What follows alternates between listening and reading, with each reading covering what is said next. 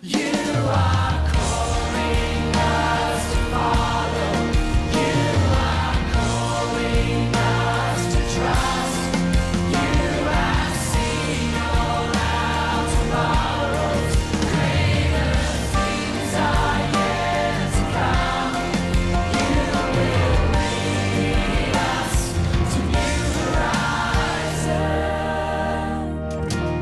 With today's sermon in our series, Life Hacks Pocket Tips from Proverbs for Better Living, here is Senior Pastor Mark Rader.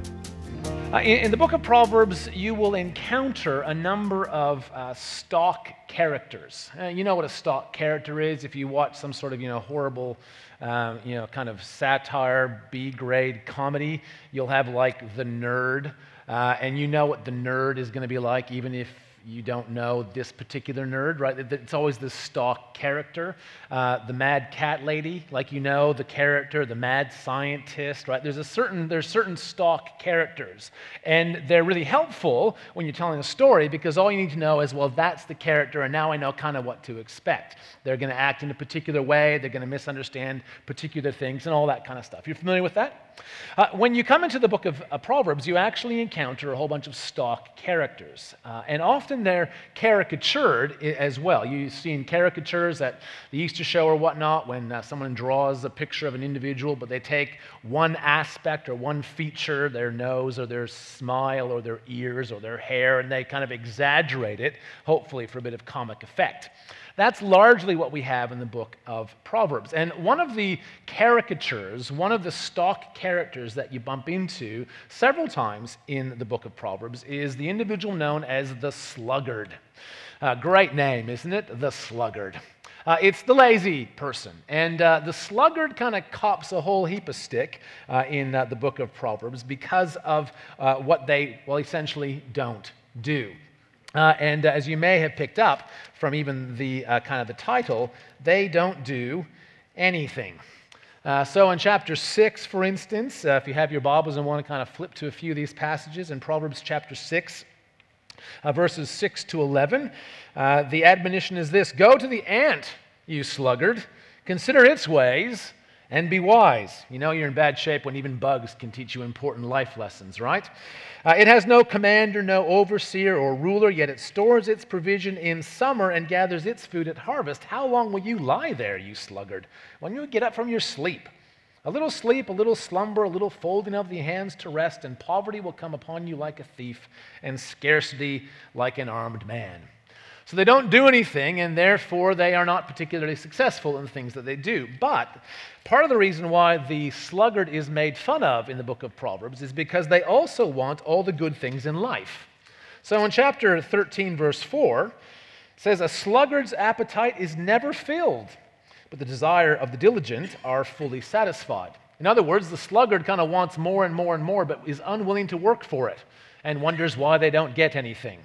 Right? This is part of the caricature of these individuals. In uh, chapter 20, uh, verse 4, we have another similar statement Sluggards do not plow in season, so at harvest time they look, but find nothing. Right? Now, fairly obvious, isn't it? A fairly obvious statement, but it's also just a little bit humorous that someone would not plow their field, not plant any crops, but still go in the fall and look for the crop that they didn't plant because they didn't plow this is kind of the typical sluggardly behavior. They also come up with any excuse not to do any work. Here's the famous one in chapter 22, verse 13. Uh, 13. The sluggard says, There's a lion outside. I'll be killed in the public square. Therefore, I shouldn't risk it. I'm just going to stay inside. Well, this is kind of the typical kind of sluggardly behavior. Uh, they are ultimately fools, and they have no real sense. Uh, and so, all the way through the book of Proverbs, they're presented for us as a negative example, right? This is not the way that you want to live. We want to ultimately be like the wise uh, in the book of Proverbs, not like the sluggard uh, or uh, a number of other caricatures that you bump into. Because if you want to be successful in life, then you should imitate different ways. I think you're with me so far. So, the proverb that we want to look at tonight and spend a little bit of time thinking about is actually found in Proverbs chapter 10, verse 4. I'll read it a couple times so that you might be able to get there before we're done the reading. They're very, very short in Proverbs. Here it is. Lazy hands make for poverty, but diligent hands bring wealth. Let me read it again. Lazy hands make for poverty, but diligent hands bring wealth. Right.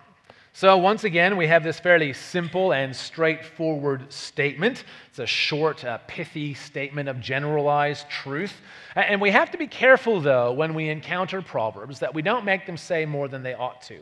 So, you know, Proverbs, because they're so short, there's only a limit to how much they can say. And so we do have to kind of play around with them a little bit and ask ourselves, uh, what is this actually speaking about? So let me just make a couple of really important um, initial comments about this proverb, about lazy hands uh, making for poverty and diligent hands bringing wealth. Let me just point out that the shameful behavior in this proverb is not poverty, it's laziness. It's really important that we make that distinction clear. Uh, the biblical authors do not suggest in any way, shape, or form that uh, if you are poor or if you experience poverty, that you are somehow on the spectrum of kind of wise to foolish. And that by, by definition, being poor means you must have been a fool. I think it's also important to say that poverty is not automatically an indicator of laziness. Right? You've probably heard this before uh, right? Uh, in some way, shape, or form, we can sometimes blame those who don't have a lot because they haven't worked hard. And while there may be some circumstances, instances where that's actually the case, this proverb does not make that argument. So we can't just say if someone is poor, they're obviously just lazy. Uh, that would rule out, say, two thirds of our world uh, for whom poverty is, uh, has nothing to do with their diligence or amount of effort and has everything to do with systemic problems that go far, far, far beyond anything they can control. So we have to be really careful about those sorts of things. Can I also just point out, though, that laziness is also different from resting? Uh, laziness as kind of a, a, a, as a vice is different than lazing around. There's a time and a place for lazing around, isn't there? Uh, I've had a couple uh, pretty full weeks. Uh, I've been traveling a little bit more than I might normally do so. I've missed a couple of my days off. I take Thursdays off. And if I have a couple of weeks where I miss that day, I'm pretty tired by the end of it. And so this last Thursday, I lazed around. I think the grand total that I got achieved was nothing, apart from possibly drinking a couple of cups of coffee, right? Like it was really low key. And from the perspective of taking care of yourself and overall mental health and physical health, that kind of rest is, is a good thing, right? Uh, and, and as, a, as a society um, and a culture, we are so fast paced. We are so driven by uh, immediacy, especially around our technology, that perhaps wisdom might include some lazing around. Uh, that uh, some uh, aspect of wisdom might actually be doing nothing, particularly doing nothing, say, with your phone. Try being lazy with your phone. That might actually be wisdom, right? Like, so uh, we, we need to recognize that this proverb doesn't say absolutely everything about having some time off or, uh, or taking it easy or having a bit of a break. It also is not talking about procrastination. That's probably on the spectrum somewhere, right? I'm not sure exactly where procrastination becomes laziness, but it's not necessarily laziness right at the beginning. It eventually gets there by the time you've had your third cup of coffee and walked around the block the fourth time and checked your phone the 17th time and decided to do more laundry even though you've already done the laundry, right? All that kind of stuff, right? At some point that becomes laziness, but ultimately, you know, we're talking about a very particular type of behavior, or shall I say, a particular type of non behavior. The principle in chapter 10 is actually pretty simple, isn't it? If you want to be successful in life, you should be diligent. You should work away at what you want to be successful at. In chapter 10, in verse 5, there's kind of a, a continuation of this theme of, of laziness and diligence. It says, He who gathers crops in summer is a prudent son, but he who sleeps during harvest is a disgraceful son. Well, it's about doing the right thing at the right time. When the, when the crops are ready, that's when you should go and gather them in. Even if you don't feel like it, there's a time, as they say, for making hay, and the time is when it's ready, right? And so, if we want to be successful in our lives, regardless of the sphere, right? Most of the book of Proverbs is written about kind of farming and stuff, right? A very particular type of success. But the principle works just about anywhere, doesn't it? Do you want to get good grades in school? Well, the rule of thumb is if you study hard and work hard, chances are you'll be successful. And that's a rule of thumb, right? This is the other thing about Proverbs. There are some exceptions to the rule, aren't there?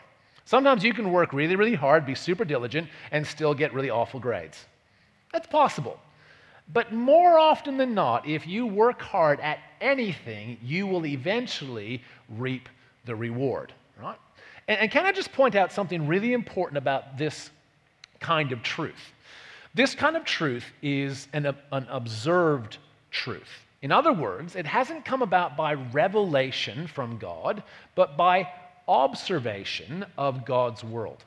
The book of Proverbs, just to kind of give you a little bit of background, is uh, one of the most intensely practical books that you'll find in Scripture. It's meant to be used day by day. I actually hope and pray that at some point during this week and the weeks to come, you will find an opportunity to use this proverb in your day to day life, right?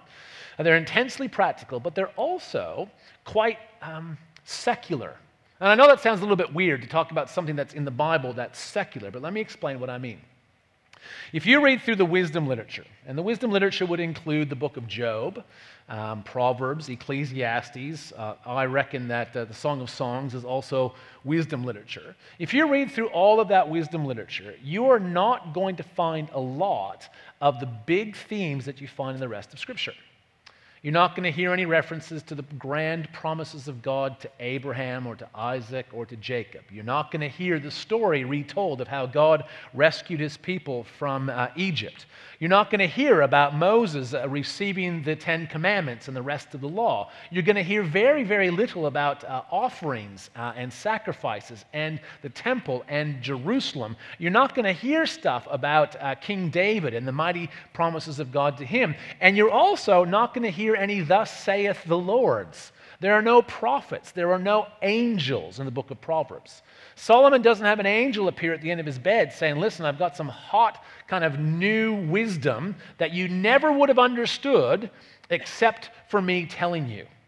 Uh, the wisdom literature is, is, is secular in the sense that just about anyone who pays attention to how God has created the world will end up seeing these patterns. So, the underlying theology of the wisdom literature is actually the doctrine of creation that God created the entire universe, the, the material universe, rocks and trees and birds and bees, not the stuff we see and sense, but also the moral universe. In other words, why is it, do you think, that uh, laziness ends up leading to destruction and diligence ends up leading to success? There's no real reason in our physical universe that that should be the case right? Gravity has nothing to say about diligence paying off. Why does diligence pay off? We believe it's because God created the world that way. And so when you begin to look around and you begin to see the patterns of behavior that lead to success, you're actually identifying the patterns that God Himself has woven into the world. And the whole idea of living wisely is to live in God's world on God's terms, right? If God's world says being honest is the best policy, then the best way for us to be successful is to be honest. Not because we're particularly moral people, not because we believe that the truth is amazing, just because God's world has been designed that way. Does that make some sense? And so when we come to something like this, this is observed truth. And it's quite possible for people who are not followers of Jesus to therefore observe the same truth. You don't have to be a Christian, do you, to realize that hard work pays off. I bet you know heaps of people who have no real faith at all who, who understand that same principle. You probably work with some of them, you go to school with some of them. They work super hard because they know and understand that hard work eventually pays off. There it is. But if we just need to observe the world to figure that one out, why is it in the Bible? Uh, why do we actually need to think about this principle any more than we already have? Okay, fair enough. Hard work pays off. Good, that's wonderful. I knew that already. Can we go home now? But it actually suggests that the same principle that works, shall we say, in relationship to our career or to our grades, works in other areas of our lives. And it begs the question then if we are experiencing poverty in any area of our life, it begs the question are we experiencing that poverty because we have lacked diligence? I'll give you an example. We can talk about physical, financial poverty, but we can also talk about relational poverty, can't we? You ever wonder why your relationships all seem strained and, you know, it's just really hard work and, you know, you don't have anyone calling you up and have you ever had those kind of, you know, little pity parties? And then you realize that you probably haven't been calling anybody up and, you know, you've kind of, you're off Facebook and you don't kind of do all that stuff. The poverty in our relationship is a result of the poverty, uh, sorry, of the lack of diligence into those relationships. You follow me on this? Uh, we can have a poverty of relationship. We can have a poverty of mind. Right? You ever wonder why you can't come up with any good ideas? When was the last time you read a book? Right? When was the last time you read something invigorating? When was the last time you did something to stimulate your mind? Well, if you're not stimulating your mind, you shouldn't be surprised when your mind is a barren waste field, right? Uh, we, we need to be diligent in all areas of our life. And can I say, it also means that we can have a poverty of spirit. Now, Jesus talks about being poor in spirit and says that you're blessed if that's the case. But can I just say for the moment that I think Jesus is talking about something different there? What I'm talking about here is when we look at our lives as followers of Jesus and we think to ourselves, you know what? Things are not as good as they could be. My relationship with Jesus is not as vibrant as it once was. I don't seem to be learning much anymore. I don't seem to be growing much anymore. I don't seem to be changing much anymore. I, I, don't seem to be getting much out of the Word. My prayer life is just kind of really hard work. I, haven't, I can't remember the last time I had a spiritual conversation with anybody, uh, whether one of my friends from church or someone who has no faith at all. Well, the question that I think we have to ask ourselves is whether the poverty of spirit is because we've actually ultimately been lazy and lacked diligence. Here's where I think we need to understand something really important about laziness. Uh, you probably already have, if I talked to you, if I said to you, listen, I want you to picture in your mind a lazy person. Right? Can you picture them in your mind? How many of those pictures included a couch and a remote control?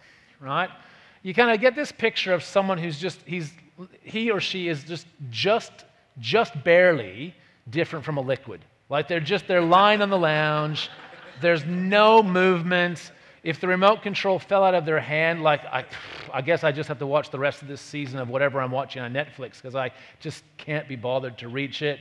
There's probably junk food lying around in this image in your head, right? They might even be a little bit overweight as well because they don't even move. You, you get the picture.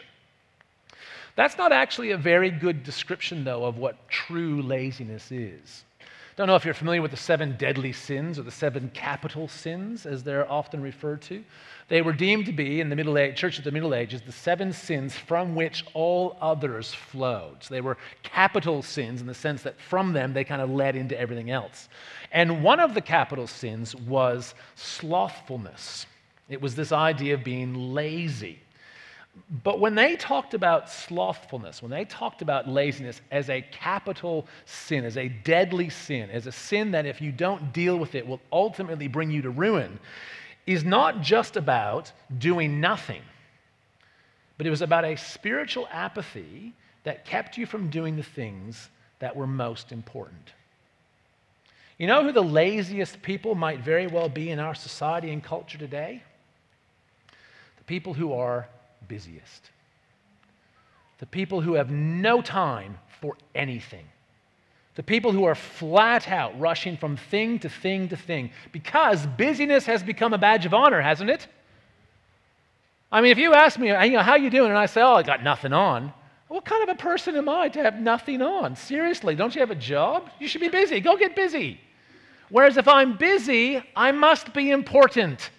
Right? Look at me. I am so busy.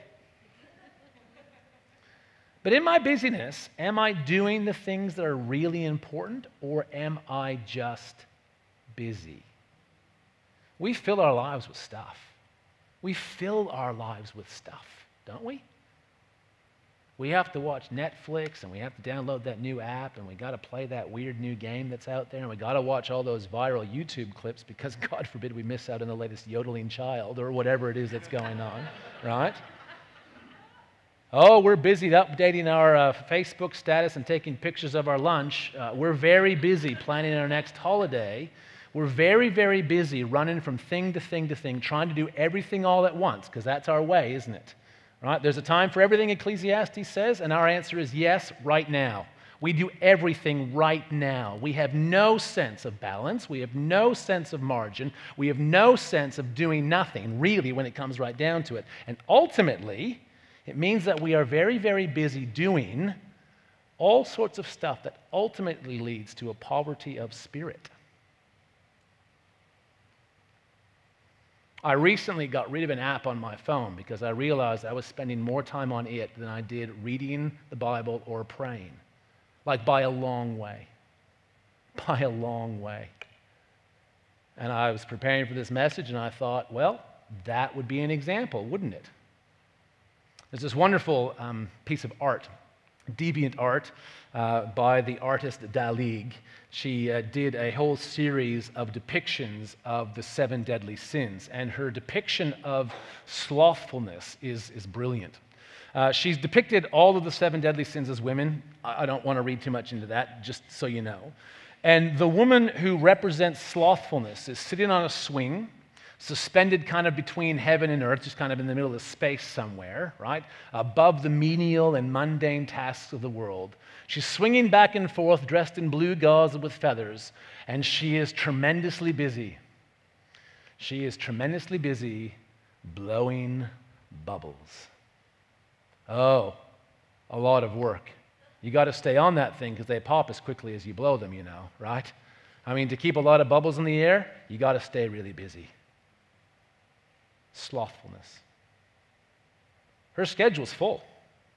Her schedule is full. She's flat out. But she is not doing anything important. And we can end up, particularly in our relationship with God, particularly as a follower of Jesus, actually slothful because we are so busy with things that are ultimately of no real value. Now, I, I, have to say, I don't know where the road of wisdom is with, say, social media. I, I, I have no idea. I get the whole connected piece. I, get that whole thing. I think that's it's brilliant, all that sort of stuff. But somewhere, surely we have to draw a line, don't we? I keep talking. we keep hearing that we're all addicted to our phones, don't we? Shouldn't the church, shouldn't followers of Jesus be the first to say, "Hey, we know a way out of this"? Or are we as addicted? Are we spending all of our time as busy as everyone else, but ultimately not doing the things that will contribute to success in our relationship with God? And see, it's uninteresting, isn't it? Because I think when it talks about grades or about success in our career or getting ahead, even in sometimes of our relationships, we can be super diligent and we reap the rewards. We get good grades. We advance up the kind of the, the, the, the corporate ladder. Uh, we get new opportunities uh, presented before ourselves. We're, we get that in the physical realm. We understand that in the physical realm. But this also, this principle also works in the spiritual realm. And if there's an, a poverty of spirit, is it because we're going through what the great uh, church fathers and uh, many of the great um, devotional leaders called the dark night of the soul, where God seems absent from us and yet we are pressing ever more deeply into Him? Or is it because at the end of the day we've just been a little bit lazy when it comes to that relationship?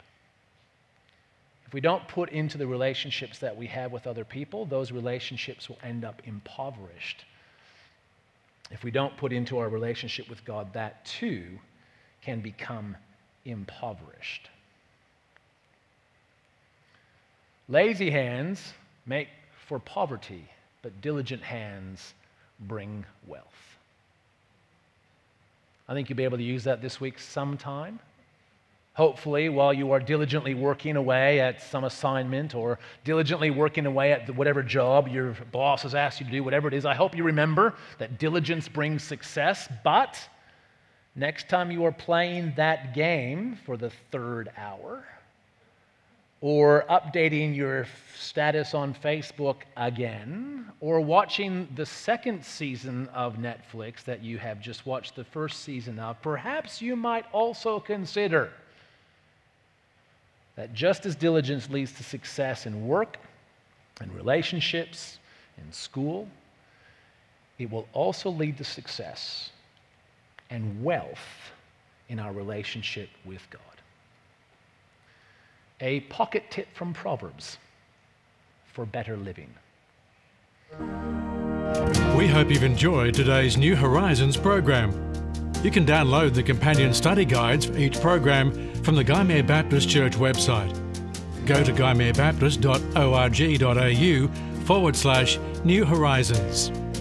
These are available for each episode, or you can download the whole series. Gymea Baptist Church in Sydney's southern suburbs is a contemporary evangelical church seeking to serve our local community and help them to know Jesus. At the heart of all we do is the desire to help people love God in all aspects of their lives. If you'd like to get in touch with us, you can do so via the contact page on our website or visit our Facebook page. The wisdom of Proverbs is intensely practical. And the proverb that we looked at tonight is something that's really well known. That is that diligence leads to success. That's true in school, it's true in our work, it's true in our relationships, and it's also true as followers of Jesus. And so, wherever you find uh, poverty in your life, one of the questions to ask is Are you being diligent? You know, it's really easy in our society to be super busy and yet not be doing the things that are most important to lead to success in the areas that are ultimately of most importance. I trust that you've been really encouraged and challenged by this proverb today and that you'll apply it this week sometime, whether at work or at school, in a relationship, maybe in your quiet time. Diligence leads to success because that's the way God's made this world. Hope to see you again real soon, and God bless.